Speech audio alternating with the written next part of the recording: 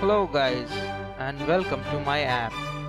I call it the German Learning app. Basically it's a translation app. In one page you are allowed to make translations from English to German and in another page you are allowed to make translations from German to English. You hear Ausgabe here means your translation here. There are three buttons in this page. One button says translate and is colored in blue.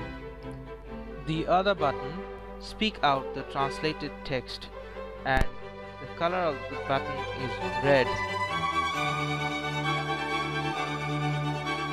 Guten Tag bitte. The third button lies at the bottom of the page. It is used to change from one page to another. This is the second page. It says Übersetzen meaning translate in yellow so that's the button you press to get your translation and there's a button in white saying Sprechen Sie den Übersetzen Text which again means please speak out the text aloud. This is all that the app can do. I hope you enjoy this app. Happy birthday greetings.